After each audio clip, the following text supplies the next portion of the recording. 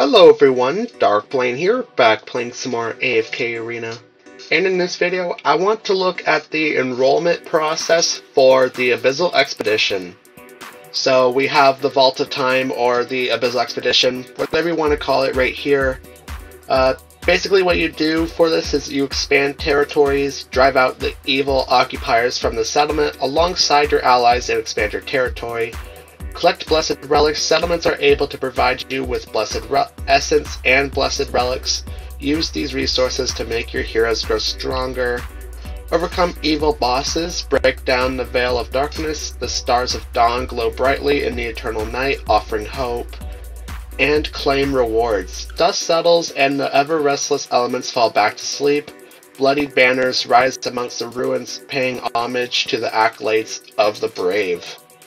That yeah, that's basically what you do here. You just collect, you just uh, expand your territory, uh, collect relics, and then defeat the bosses. And it's a, it's a big map, so yeah, there, you have to collect a lot of territories to make it to the final boss here. Yeah, and there are, there are also multiple bosses to this. So yeah, you have to defeat multiple bosses. I'm gonna look at the rewards here. Uh, there are two types of enrollment. There are, is the casual enrollment, and then there's the honorable enrollment. I'm going to look at the casual enrollment rewards here.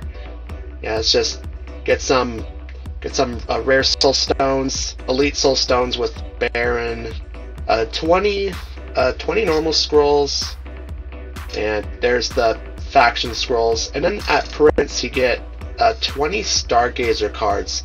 Yeah, definitely getting to Prince. That's that's a big one, getting that 20 Stargazer cards, and also getting a bunch of Essence as well throughout uh, throughout the Abyssal Expedition. And there's also these chests here, like the Baron Choice chest. You get 400 Twisted Essence or 3,000 Poe Coins. I would go for the Twisted Essence myself because I feel like those are more of a, of a rare resource than the Poe Coins. And you also have the uh, Earl Choice Chest, which gives you 50 Amplifying Emblems or 4,500 Poe Coins. Um, I, I'm, I would be kind of split between these two. I mean, the, the Amplifying Emblems are pretty good, but also you get a full 10 pull of furniture with the Poe Coins. Yeah, I think with this one, I would choose depending on what I really want here. Yeah, that, that, that one I'm split between the two. And then you also get the Duke Choice Chest, which gives you 50 uh, red chests, and 9,000 Poe Coins. Yeah, I would probably choose the red chest, even though the 9 9,000 Poe Coins gives you a full 3 310 pull of furniture, and that will give you a guaranteed mythic uh, furniture piece. I would still go for the red chest because those because I'm I'm still needing red chests. Yeah, to get uh, heroes plus 30 signature items, and those that's pretty much the casual rewards. So yeah, the honorable rewards, they just give you, I believe they just give you slightly more rewards here, but the big thing here is with Duke and Prince. They give you an extra 3,000 diamonds if you reach uh, Duke, and an extra 3,000 diamonds if you reach Prince. So, yeah, you're getting 6,000 diamonds total if you get the Prince. Yeah, instead of uh, 20 Stargazer cards, they're giving you 25. So yeah, they're giving you slightly slightly more rewards. But the main thing that people go for when going for honorable is getting the 6,000 diamonds from there. So yeah, those are the rewards. Let's look at uh, who's enrolled where. Uh, it looks like my guild is going for more of the casual route.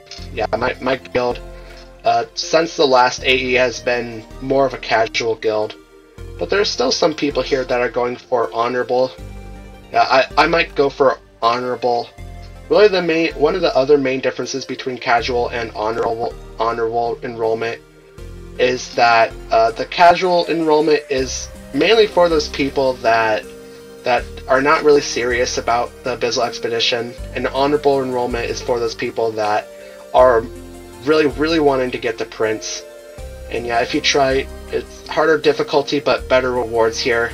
And if you enroll here, you if you enroll in the honorable, you actually have to spend 3,000 diamonds to enroll in honorable. So yeah, there's you have 3,000 diamonds on the line there, and yeah, you're getting 6,000 diamonds back. So you're getting a, a total of 3,000 diamonds back from the honorable if you get the prince.